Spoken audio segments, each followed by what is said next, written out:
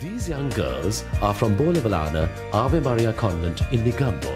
They use DynEd English Language Solutions to prepare for Cambridge ESOL main suite examinations such as Key English Test and Preliminary English Test.